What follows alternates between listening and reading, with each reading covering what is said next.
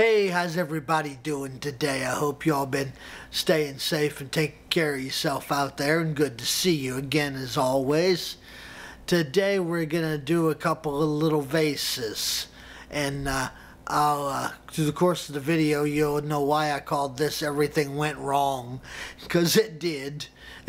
it happens a lot uh, especially for me, trial and error, live and learn, and all that good stuff. But we're going to make a couple of vases uh, using some resin and some walnut. Walnut. I tell you, I would die before I learn to speak right. Some walnut and some ambrosia maple. Uh, two very nice woods. Gonna mix them up with some resin and do a little intricate cutting and inlaying. Not too intricate, just creating a pattern with the wood and the resin. So let's get at it and see how it comes out. Hey guys, okay, we got these two boxes already made. They're made out of some scrap MDF I had, uh, 6 inches by 11 and a half inches. And before I nailed them together, I lined all the pieces with some packing tape. So let's get started on setting up our turnings in there. For these two turnings we're going to be doing, we're going to be using ambrosia maple, which is on the left, and walnut, which is on the right.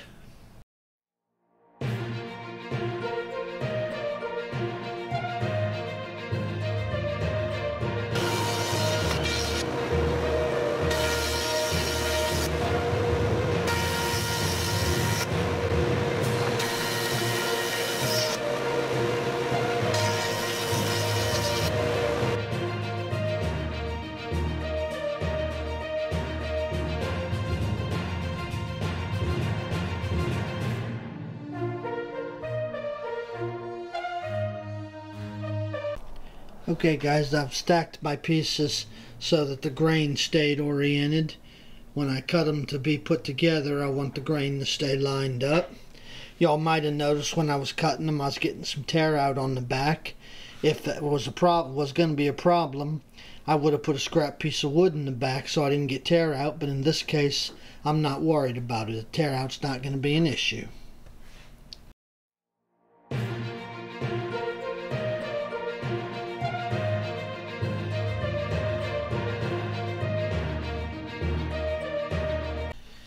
Okay, y'all, how you doing? Did you get yourself a snack and go to the restroom?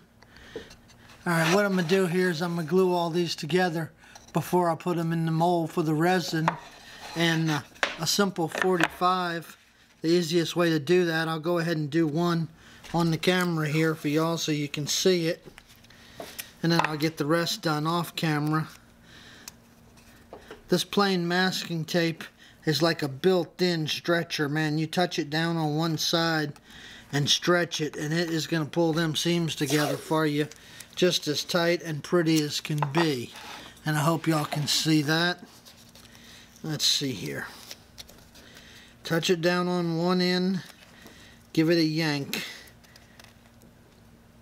I'm pulling pretty hard and it when you're pulling on it like that it doesn't tend to break. As easy as you can tear this stuff and as flimsy as it is it really holds up pretty well to being stretched like this. And what that's gonna do when I put my glue it's gonna close up and make that a perfect miter and hold it right in place for me. You've probably seen that before but if you haven't now we need to put some mustard in there. Not too much. These are just being held together so they can be put into a mold. Give it a little ooze. And then I'm going to put another piece of tape and do the same thing to act as a corner clamp. And when I pull on that tape, like so, nice and tight, that miter ain't going nowhere except together.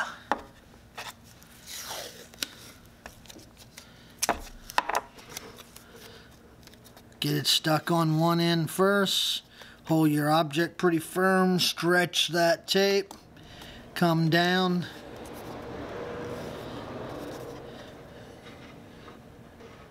Nice, tight, clamped up. Gonna set them aside, let them dry get them all clamped up here for you guys, then I'll show you. Y'all. No more tape, no more tape. We gotta take off the tape. Can't have tape, can't have tape. We gotta take off the tape.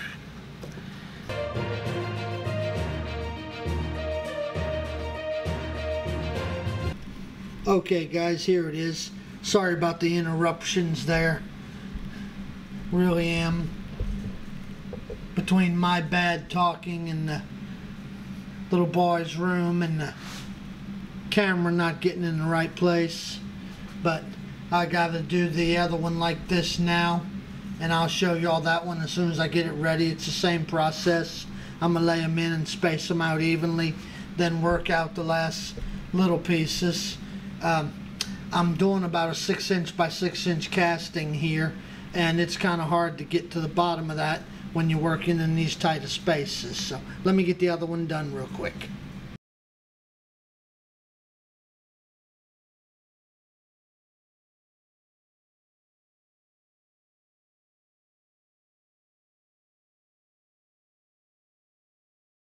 Okay guys, here they both are ready to go.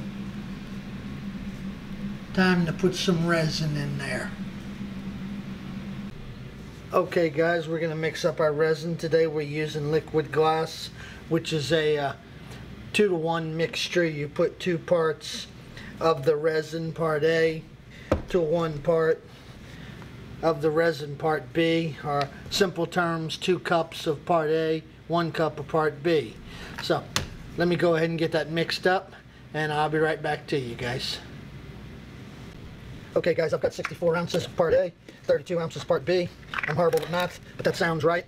If I made any oops in that calculation, you guys let me know. I don't think so, but you never know.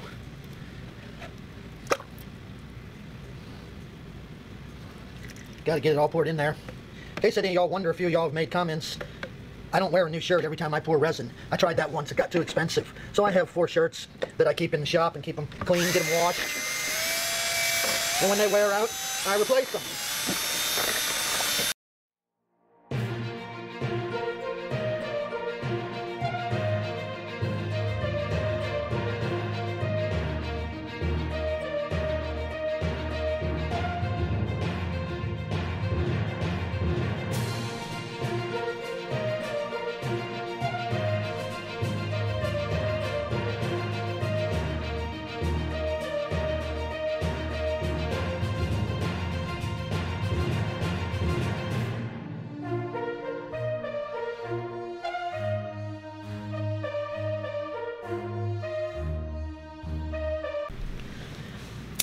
Let's see what we can do here. Thought I had that thing pinned in there pretty good. Guess I didn't.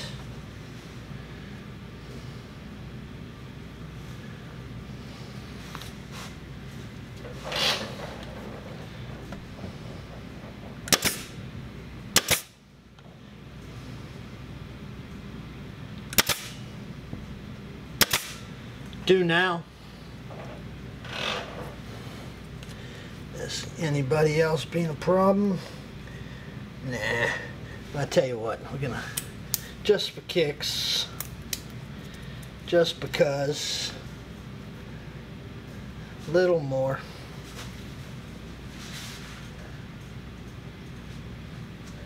You always run into some little situation you gotta deal with. That's okay we can deal with it. There we go. No more issues there.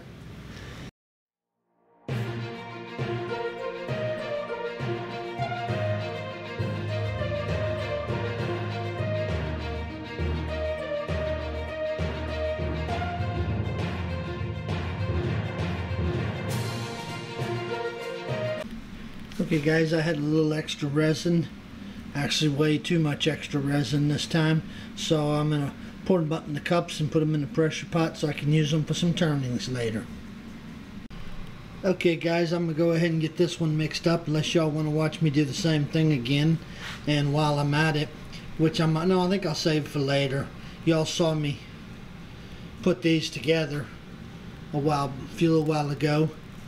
I'm gonna probably pour those tomorrow. I think I've got what one, two, three, four, five, six of them there, with some bar in them, and I'm waiting on some uh, diamond flake powder. Well, that's what they call it. It's probably glass or, or resin that I got ordered to come in. I want to put in some of these. Messy, messy, messy. What a shame. One of my brother's oldest daughter is getting married so she wanted these cubicles made for her centerpiece. It's kind of real rustic looking. So what they are is some walnut that we ripped up and he nailed them all together and then took a ebony stain and rubbed on them. Uh, didn't do any sanding, didn't do any miter joints, wasn't going for that look. Just these rustic looking cubes to sit in the center of the table. So my brother's in here doing this this week.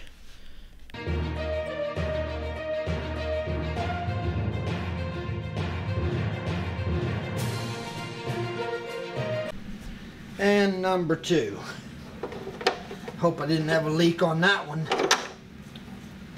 Let's see.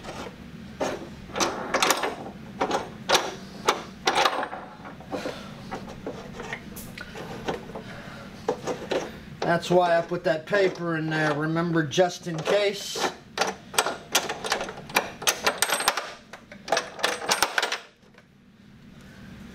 Yep, I don't know if I had a leak or if it just filled itself in. But y'all can probably see it dropped down a little bit. So we're gonna have to fill them up. All right, let's take a look here. No, it wasn't a leak. We had a little bit, but must have just filled in the gaps. But it's sure looking good at the moment. This one did have a little bit of a leak, and I mean a little bit, but nothing to create that much drop. So we're gonna have to fill them up. I don't know if y'all can see this, but got a little bit of a problem that one piece right here rose on me. And I had them glued on the top and glued on the bottom as far as I could reach in there. And you saw when I was casting them I had a hole down on that first one. But that circle went and rose on me which threw it on an angle which basically ruined the turning about one third of the turning. So uh, let's see what I can figure out here. Alright guys, I made several mistakes here. I know I'm good looking, but I do make mistakes. What can I say?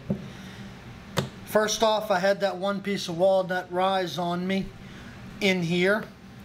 Second off, I didn't, I filled it with resin, but I got that shrinkage.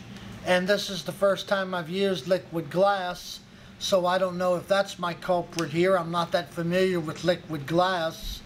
I didn't have enough bubbles in it to cause this much shrinkage, although um, I did have them quite high in the pressure pot, almost up to 80 pounds, which assured me there'd be no bubbles in it when it came out, but I shouldn't have gotten this kind of shrinkage. So I didn't have any leaks per se. I thought I did at first, but I really didn't. So I don't know why. But anyway, I'm going to try and salvage it. I'm going to have to cut about one third off of the walnut turning here and just use the top portion. And on uh, what I'm going to do is they were cast at six inches by six inches. I'll have to wind up cutting them down to four and a half by four and a half because I have to maintain the center. If I don't maintain the perfect center going through, the turning won't look correctly. It'll be off which, trust me, I've done that mistake too. All right. This one got the same shrinkage. This one did have a little bit of leakage. I mean less than an ounce. But I honestly don't know why I got that much shrinkage on it. There's no way I'm ever going to pour more resin back on top of this. That was my first thought, just pour more resin. It won't match. there's no ifs, ands, and buts about it. Every time you mix up a resin with some dye, it's a one of a kind. It's almost impossible to come back to the same color. You can get close. You can get real close. But this is kind of a dark purple. If it was a little lighter in color, I might give it a try. But that dark, it's not going to work. You'd see it. So I'm just going to cut it all off once I demold it and make them a little smaller. So let me take a break here for a second.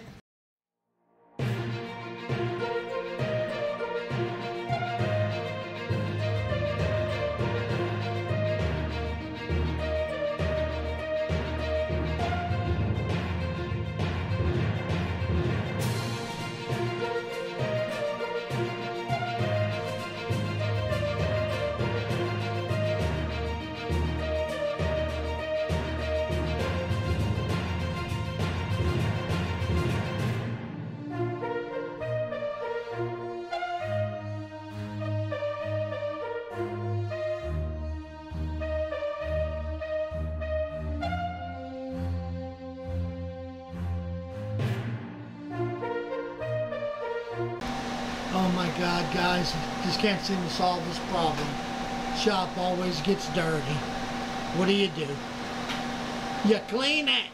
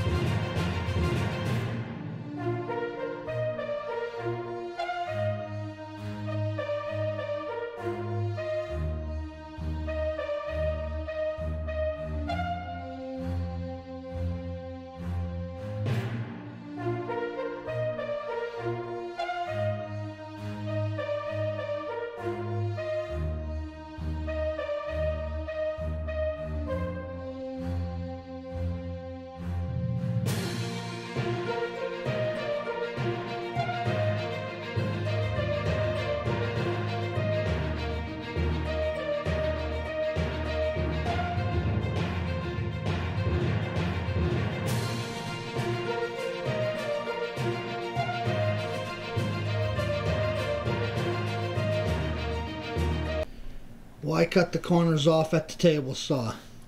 Here's why. Two more really cool turning blocks. I don't know if I've got the angles all right right now. I just slapped them together. I haven't glued them up yet so y'all could see. Let's see here. Yeah, squeeze them together a little bit better. There we go.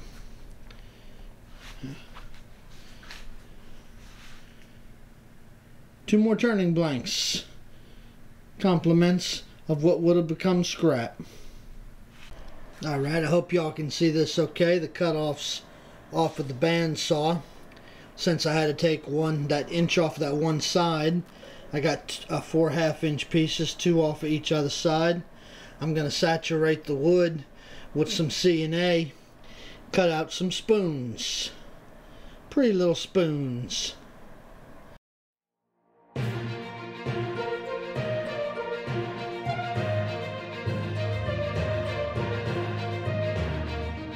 Can y'all believe how dirty a shop can get? My God. Unbelievable, huh? I should have made my shop tour when it looked like this. Oh my God, guys.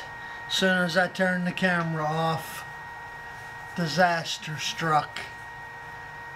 And it broke. Oh. Let me see what I can do. Oh my gosh. Okay, I cut the broken end off of it. Yep, we still got us nine inches of turning. What can you say? It happens. Let's get back at it and see what we can do. Alright guys, let's see if we can salvage this thing. What these are, guys, are long pieces of sanding belts that break, which they do quite often long before they wear out. So I cut them up into strips and save the pieces. Use them for sanding on the lathe and other things. Let's get at it here.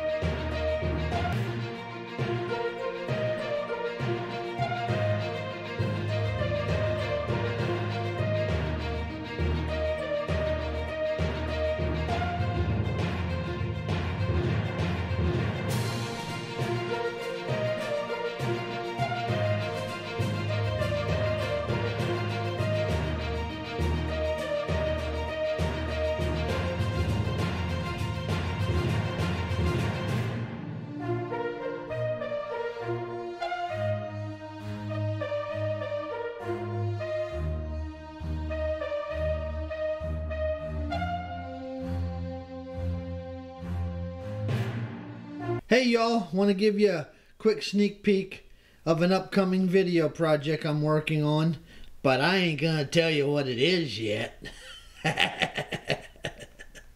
hey y'all, I'm Buck. Uh, like I told you, a lot of screw ups and mistakes there going on. Uh, number one, y'all remember that little mermaid video that I was doing in two parts? Well, uh, it didn't go well either. I filmed turning them, but I made the resin way too dark. It just distorted the entire Little Mermaid inside of it. And I made them a little too shallow. I mean, her head is just right there on the top. And if you look real close on the sides, I was too tight inside the pipe so just mistake after mistake. That's why I didn't put another video out on them. They just didn't come out well. Resin cast, way too dark. This one would have been real nice if the resin hadn't come out too dark. But if you look real close here, and I hope y'all can see it, again, even without having to do any turning, just basic sanding, since I poured it in a round mold and I hit the little tip of her hand there and poured the resin too dark. So, learning experience. What can I say? That's why I didn't make another video on them. On our vases that we doing did today, I used liquid glass resin. First time I've used it. And overall, the product looks good till you start pointing, pointing out the flaws, look here real close in the top. You see that crack in there? It's all glued up and secured. It didn't break. It just had that crack in it. So did this tip over here. And then there's one other one. Let me find it. Oh yeah, right down here. And if you'll remember, the wood moved on me. So it goofed up my pattern. My spacing isn't even all the way through. Although I'm very, very happy with the concept. You can see the actual arch of the wood. You can see the shadowing from the inside of the wood as it's going down on the angle, which gave a very nice effect. Maybe that'll show better I don't my big head behind it, huh? Yeah, can you all see that? Yeah, see the shadowing effect? That all worked out nicely. The wood looks beautiful. Just overall, the thing, the vase has some cracks in it and uneven spacing. And on the walnut one, same thing. Overall, I'm very happy with the pattern. Had to lose a lot of the mold because of that movement. And that movement threw off my spacing on it. Meh. It's okay. That's all I can say for it. It's okay. Nothing too great. It all went wrong, but we salvaged what we can. Hope y'all enjoyed that.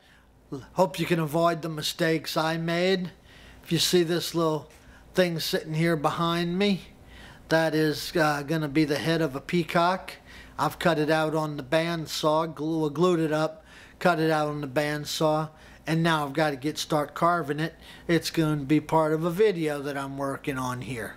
So, hope y'all enjoyed that. I got to get back to work making videos for you. Y'all be safe. And guys, if you're new and you subscribe, or even if you've subscribed before, leave a message, please, and let me know so I can thank you. There's, there's no other way I can respond back to you that I can figure out. Even when I go through my subscriber list and click on you, um, there's no way to leave a comment if there's not a video there or something. And I like to tell everybody thank you. So if you subscribe, and I hope you do, I'm going to keep this up for a few more days. leave a comment and let me know, okay? Thanks, y'all. Be safe now. Bye-bye. And you know, huh? I'll be back.